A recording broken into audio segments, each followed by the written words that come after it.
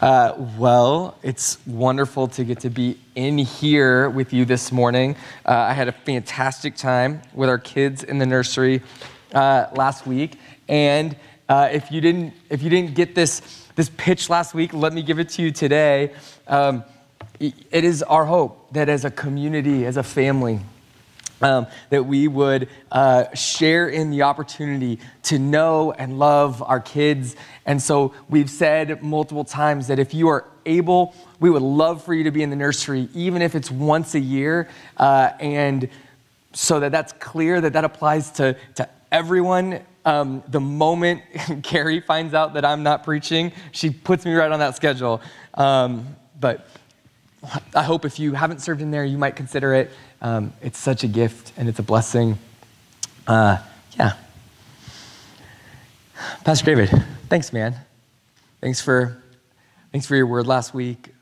Thanks for the way you encouraged us and challenged us. And um, I'm excited to pick up where you left off and to, to keep walking through uh, this, this fascinating book together. Um, to get us started, what I want to do is uh, we give out a, a, daily worship guide every week. So you get this, it's in your worship folder. Um, I know that the Thursday night small group has been using the daily worship guide together for their small group time. I think some others might have as well. Um, what I want to do to get us started this morning is I want to give some of you a chance, um, just quickly, to share something um, of your time in the daily worship guide this last week.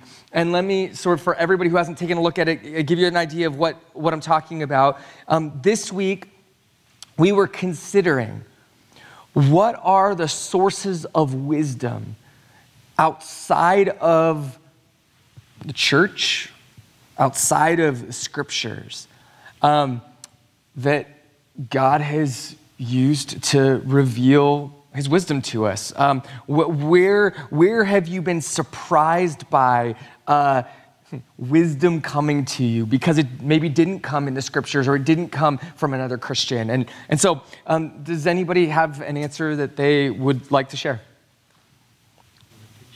Okay, so from, for, from some teachers. Hmm.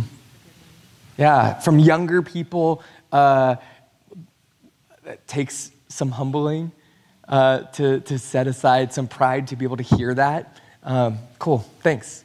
Who else? Some surprising places where wisdom has come to you. Yeah, Whitney. Hmm. That's cool. Um, Whitney's boss, uh, when, she, when she quit her job, had some, some real wisdom for her um, that she was surprised by. Cool.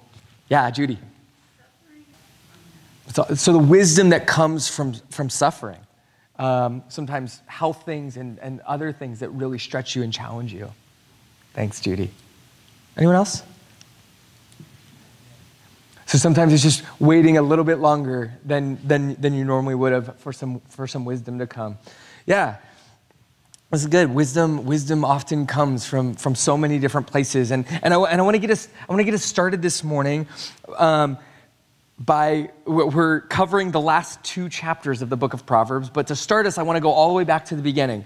Um, for just a minute. So chapter 1 verse 1 of proverbs. We read this intro to the whole book. The proverbs of solomon son of david king of israel. This book uh, the entire book of Proverbs, um, all 31 chapters, are summarized in this single incomplete sentence. This, this opening line tells us that every line in this book is the wisdom and instruction of King Solomon, given to us in the form of these, these simple proverbs, which are short, memorable, wise sayings. This is pretty straightforward, right? Book tells us this is what, what we're looking at. Solomon, the great king, prayed to God for wisdom, and God turned around and made Solomon the wisest man in the world. In fact, the scriptures tell us that, that Solomon was so wise in all of his wisdom that rulers from all over the earth would come to listen to his wisdom and that they would come to praise him for his wisdom and that they would heap treasures on him out of their just sheer gratitude for this wisdom that he would, he would share with them. Uh, the book of Kings tells the story of the queen of Sheba who came to Solomon in this way. So, God is the source of all wisdom. God has given extraordinary wisdom to Solomon. And then Solomon dispenses wisdom as people come to him seeking it, at least during his life. But at some point after his death, some group of people collected Solomon's wisdom into a single anthology. The book of Kings tells us that, that Solomon in his lifetime wrote more than 3,000 proverbs, which tells us that this book, the book of Proverbs, it doesn't even come close to being an exhaustive collection of Solomon's uh, wisdom. Instead, we would call the book of Proverbs representative of Solomon's wisdom. So, like, think of a representative anthology of any other writer, of Mark Twain, of James Baldwin, of Shakespeare, of Amy Tan. This, this collection wouldn't include everything that these, these authors wrote. Rather, a collection would include a selection of their writings that the, the person gathering them thinks are the most important for learning about this, this author. So, a representative selection of Solomon's wisdom has been collected into these 31 chapters that makes up the book of Proverbs. They are not the total wisdom that God gave to Solomon, but they represent the total wisdom that Solomon received from God and then passed down to Israel. The wisdom of Solomon. I think it's important for us to understand what the book of, of, of Proverbs is so that we can experience Proverbs' closing chapters, chapters 30 and 31, the way that they are meant to be experienced. So notice this. Chapter 1, verse 1, where we just started. These are the Proverbs of Solomon, son of David, king of Israel. Chapters 1 through 9, then, are this series of sermons and speeches calling hearers to trust and follow Solomon's wisdom. Pastor David then introduced us to, to the middle section, large middle section of this book, starting in chapter 10. And if you turn to chapter 10, where it begins, you discover this heading, this introduction to this section the Proverbs of Solomon. Uh, this is where the short, memorable phrases are all listed one after the other forever until chapter 29. Chapter 25, if you flip with me through your Bibles, chapter 25 begins, verse 1. Um, this chapter shows us that this book is a collection of Solomon's best hits and that the book actually came together in the form we have it way later than Solomon's life. So, chapter uh, 25, verse 1 says, These also are proverbs of Solomon, which the men of Hezekiah, king of Judah, copied. Hezekiah was king hundreds of years after Solomon, and yet he was considered a son of Solomon, because in, in Hebrew, to be the son of is to be the descendant of, but he was not just a son by birth also son in spirit. Because Hezekiah is one who submitted to the wisdom of God, especially as that wisdom came to him through his spiritual father, Solomon. And then we get to our passage this morning, chapter 30. So, flip there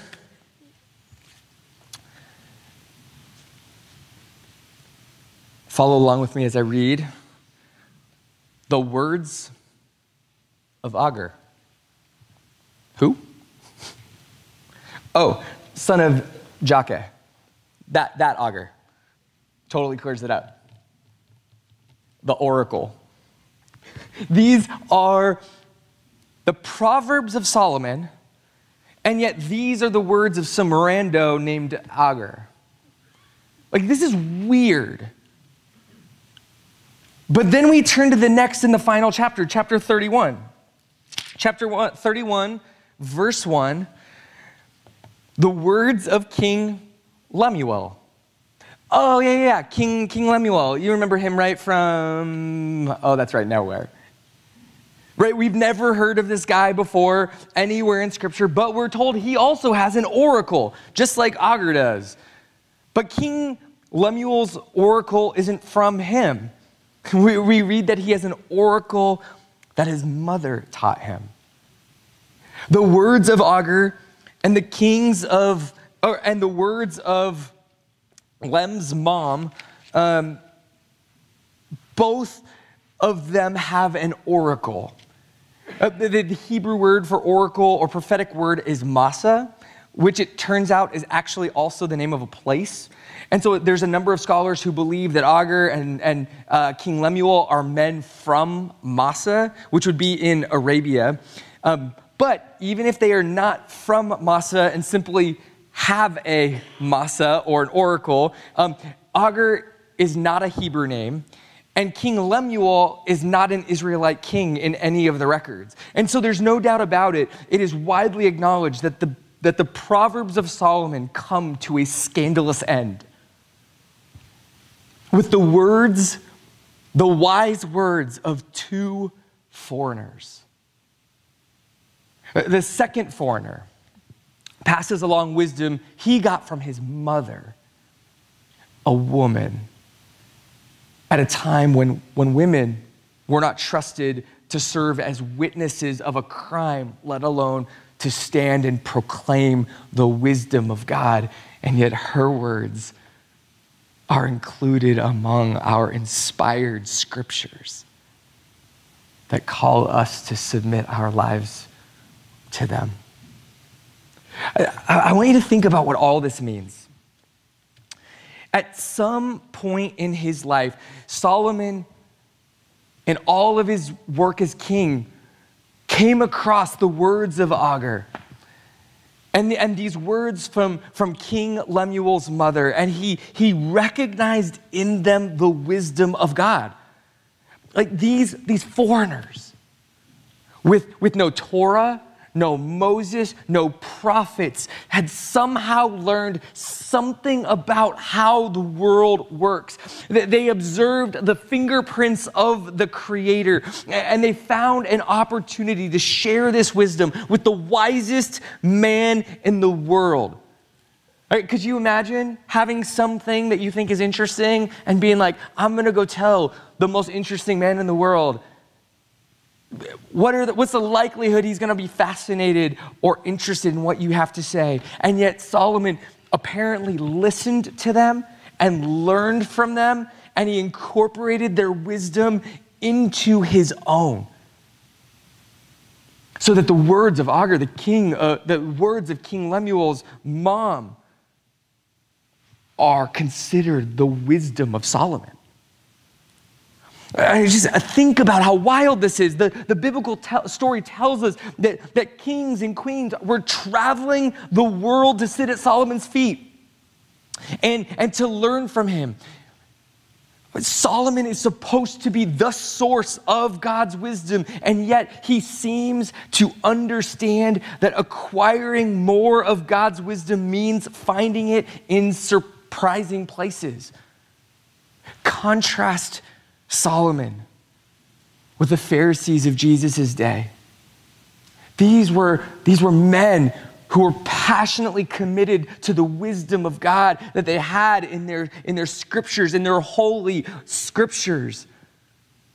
But when the wisdom of God in the flesh, Jesus Christ, was standing in front of them, they were incapable of receiving God's wisdom because they were certain that they already had it all.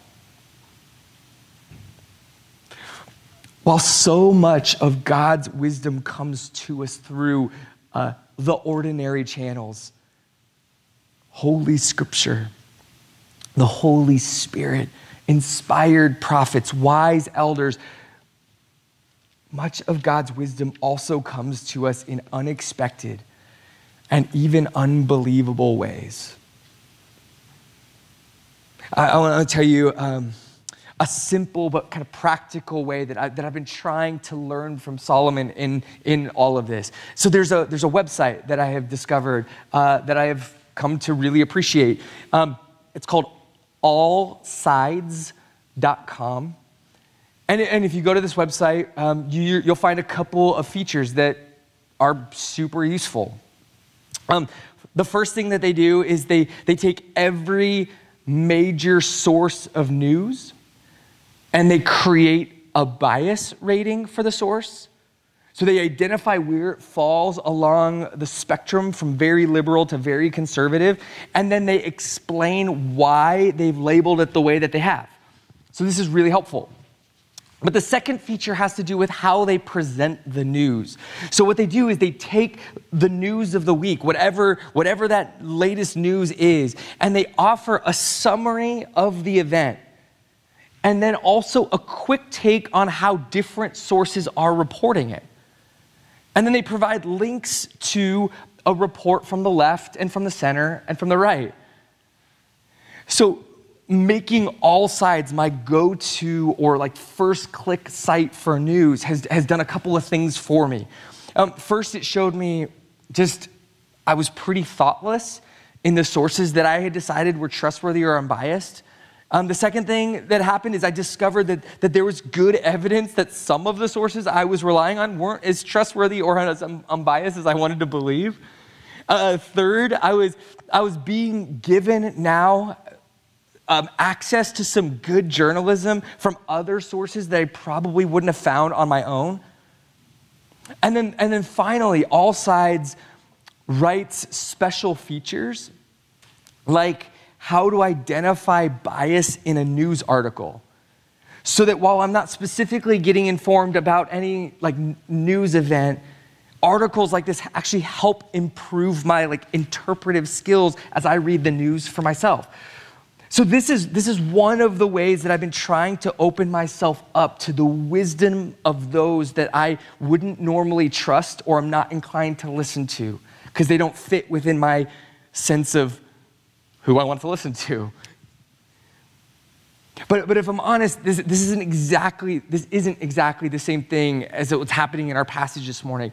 Because it's unlikely that we will read a news article and declares some factual recounting of events as the wisdom of God. And there's a simple reason for this because wisdom is not the same thing as information.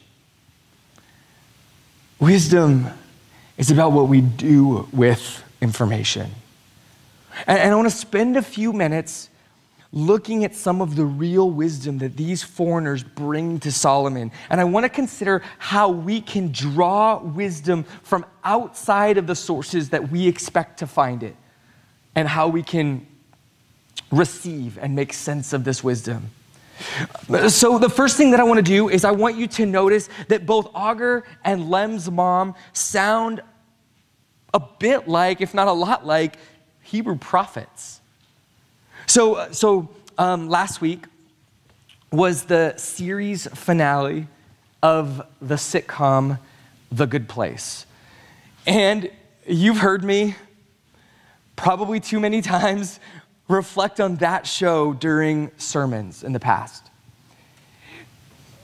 As this show finished up its last week, after four seasons, um, I just continue to be amazed at how often the show sounds like the biblical writers when it talks about morality.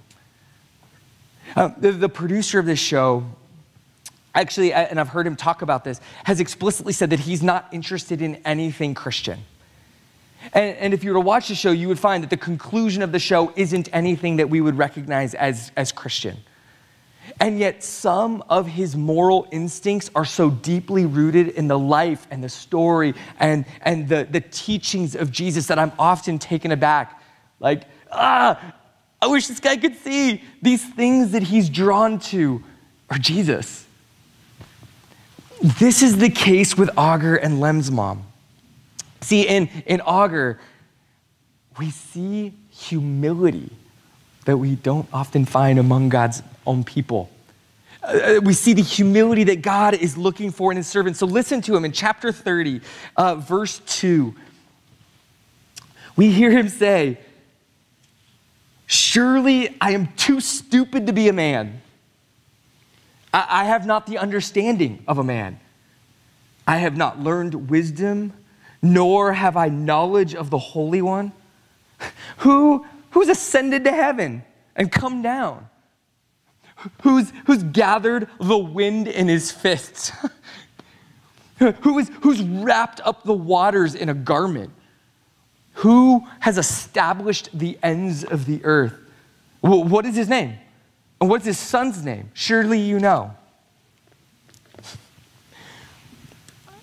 The earliest commentators, Christian commentators on this passage, knew exactly what his name was and his son's name Yahweh, the God of Israel, and his son, Jesus.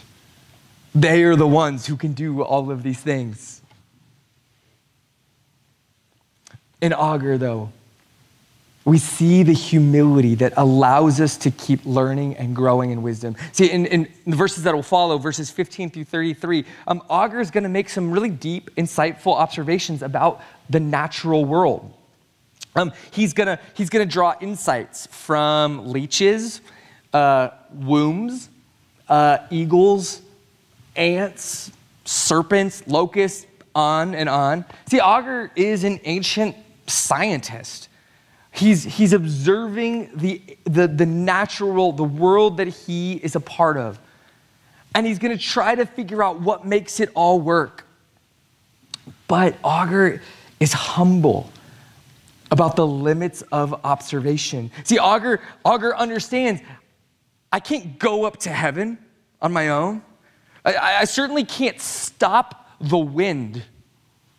I, I can't control the waters which means Agur understands that there is a difference between observing and understanding what's in the world and then exercising authority over it.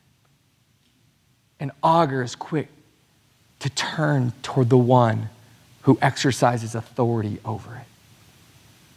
Agur shows us the wisdom that is found in humility. But Agur's not alone. This is a humility that we find among others in the, in the Hebrew Bible.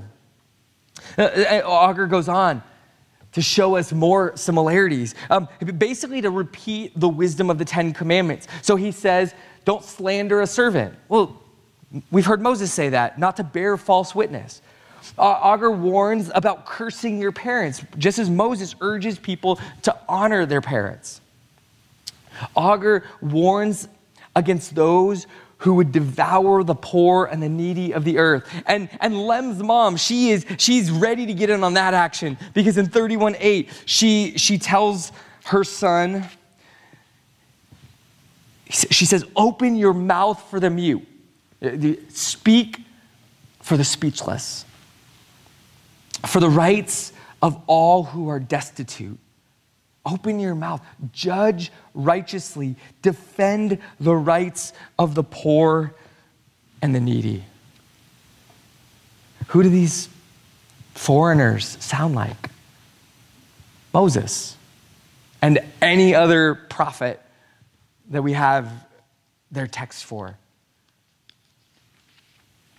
These foreigners sound just like the Israelites in some key ways.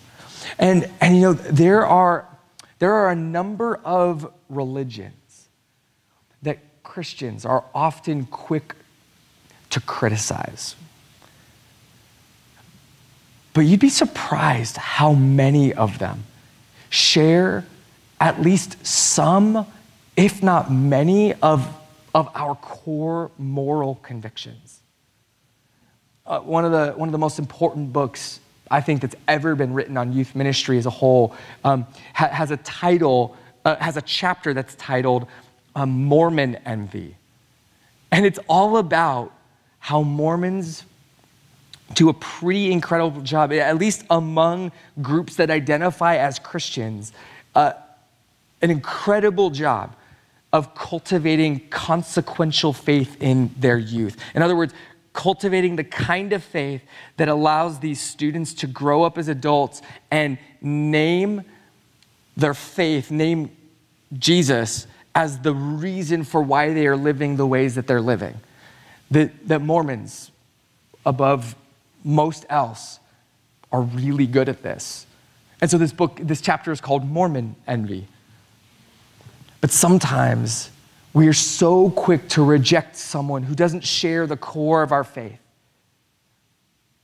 But do they offer us anything by way of God's wisdom? How often do we reject what is wise because of who it comes to us through, because of its packaging?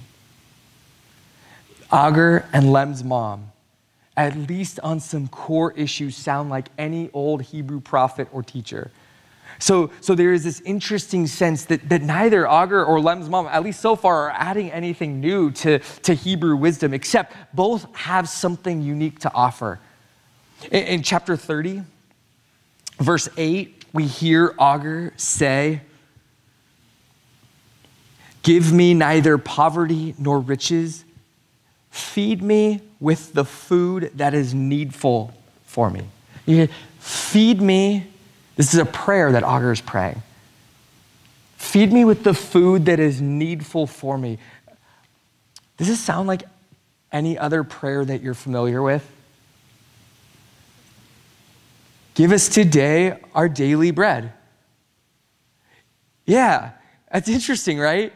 That Jesus, that Jesus' disciples would say, Teach us how to pray. And he would essentially paraphrase this foreigner when teaching his disciples how to pray. The scriptures have 150 prayers in the psalm book. And he takes this one line from Agur Great and mighty, well, who knows who Agur is, right? We don't know. But it's important to note that Solomon, when you read his story in Kings and in Chronicles, um, had some food. That's a bit of an exaggeration. That guy had serious food, more than enough food, more food than his entire kingdom needed. You read his story, there was lots of food.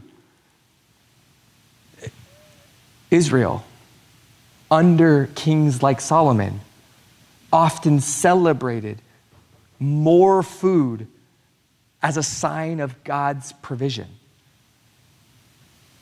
But what's interesting here is that even if Solomon didn't know how to practice it, he is incorporating this wisdom into his teaching.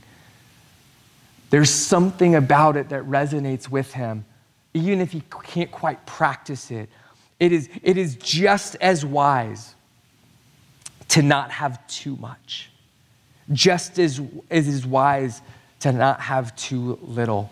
Um, I, Americans often struggle to pray, Give us today our daily bread. This is a hard prayer for us. Every time I work through the, the Lord's Prayer with, with, um, with uh, I pretty much only work with Americans, but I'm just saying, like with Christians we, who are Americans, we find the same struggles. Why is this such a hard prayer for us? Give us today our daily bread because our cabinet, cabinets are filled with tomorrow's bread and usually also next week's bread. But what happened? What would happen if this prayer began to change what is in our cabinets? Agur brings wisdom to a people who are tempted to gather and hoard and amass more than what is necessary. It's calling them to a way of life, a wisdom lived. Okay, that's Agur. He adds something. So does Lem's mom. her depiction of the, the woman of valor, the woman of excellence from verses 10 to 31 in, in, in chapter uh, 31 is, is this pretty incredible, kind of epic addition to Israel's wisdom. I, I don't know what you, you, you may not have ever, you may not even ever notice this, but if you follow along with me when you read, uh, when we read scripture in here, if you're reading out of the same translation as me, the ESV, one of the things that you'll notice is I often make interpretive decisions on the fly, such as reading brothers and sisters when the passages uh, are to brothers and sisters. Because to be honest, I sometimes just get tired that, of the fact that the overwhelming bulk of the gendered language in scripture is, is towards guys. And I understand that there are females that have often thought entire passages of scripture were not relevant for them because it's all to the brothers, even though the context shows it's clearly to the church. So, all of that being said, here we have this epic poem where we learn about an excellent wife or woman. I mean, she is the boss at home. She's the boss in the market. She's unstoppable at work. She's strong. She's shrewd in the good way. Uh, she's smart. She's savvy. She's strategic. She's highly respected.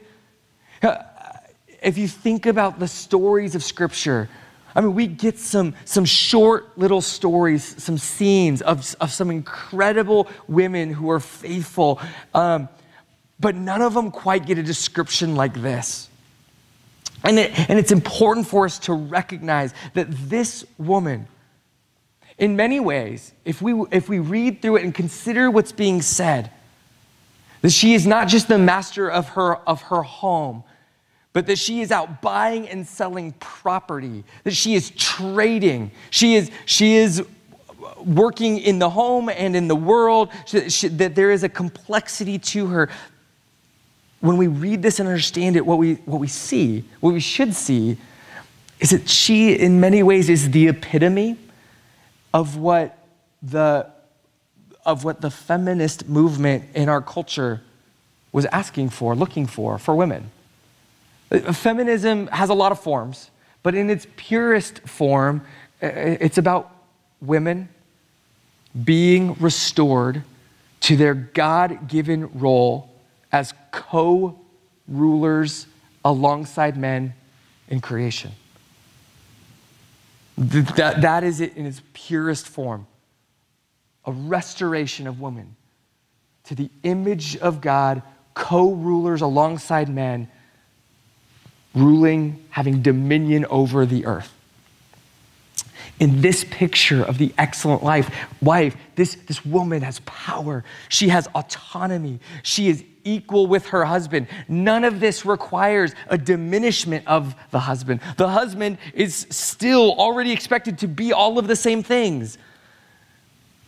But she has a dominion over her garden. This picture is, is, is it is incredible if you consider how women are most often depicted in the stories of Scripture. And so we might ask, how is it that someone came along and included this picture of the excellent woman in scriptures in the scriptures uh, like, how were they able to determine that this was a true picture of what God intended for women? How were they able to determine that this portrait was, was the wisdom of God equal to everything else in Solomon's teaching? Because most of Solomon's teaching is focused on men. I, I hope you realize how important this question is. The, the First Testament doesn't contain descriptions anywhere of roles for men and women.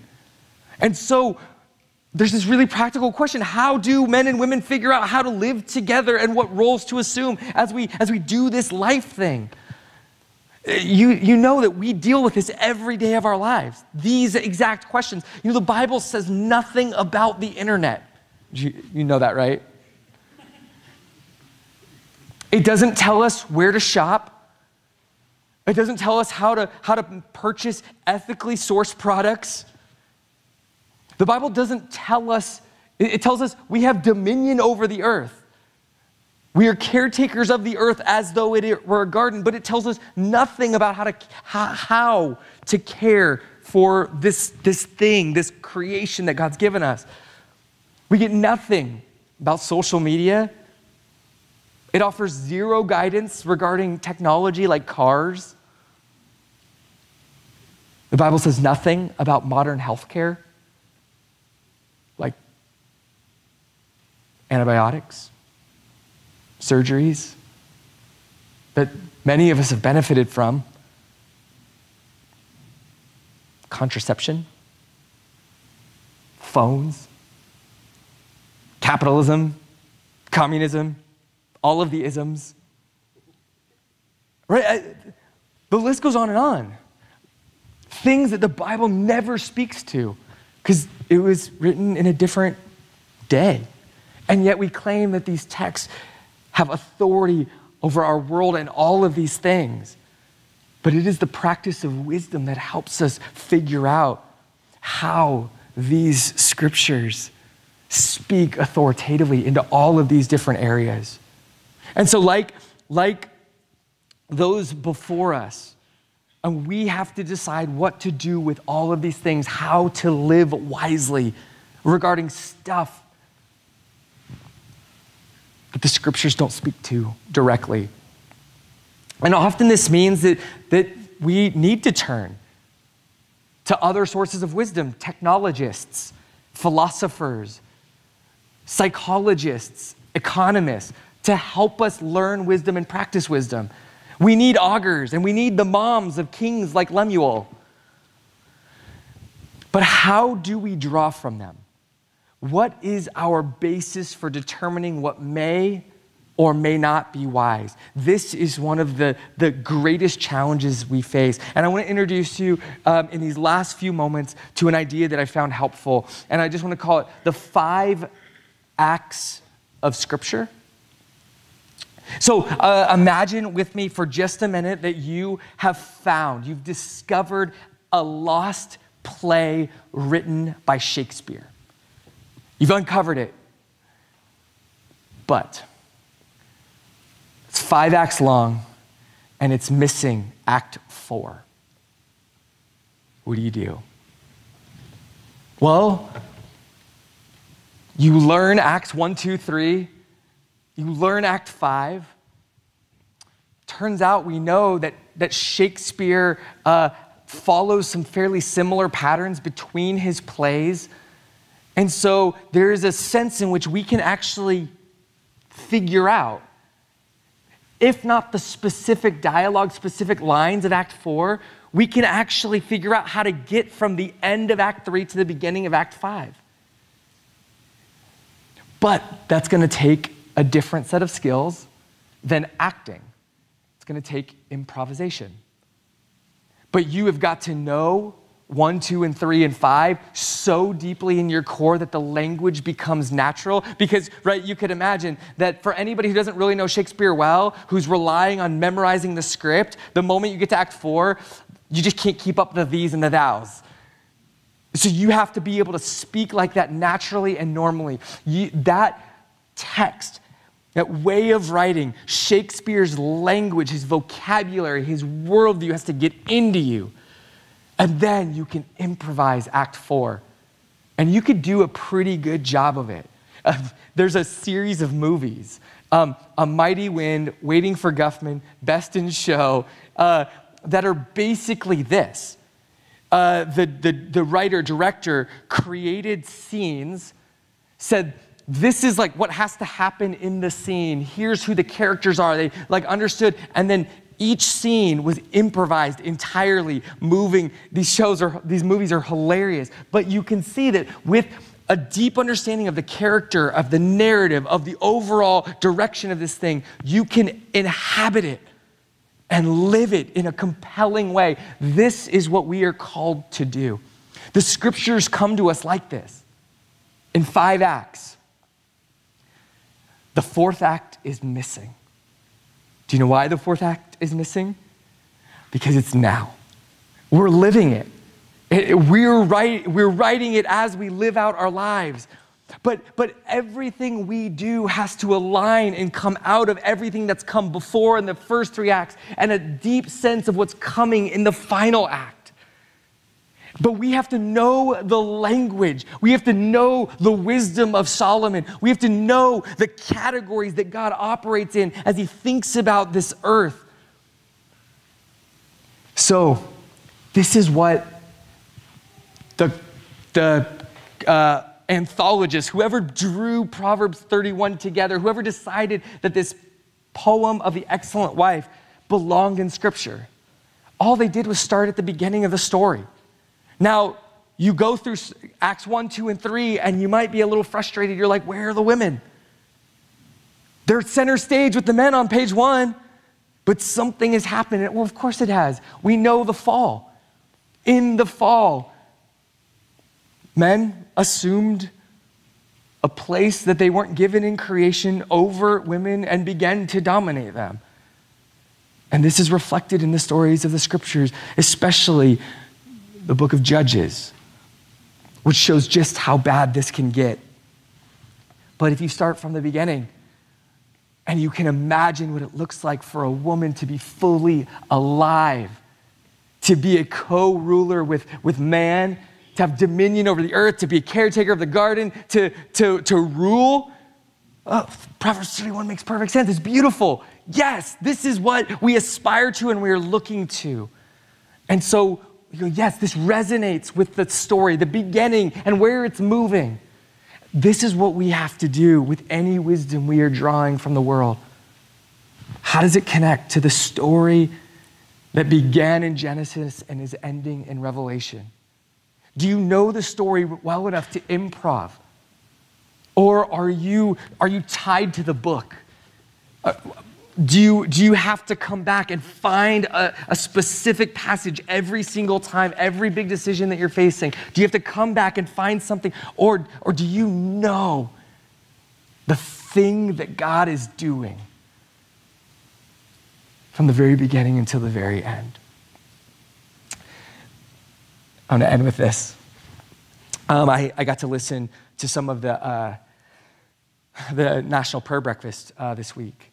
And there was a guy named Arthur Brooks who spoke, spoke so beautifully about the call to love our enemies.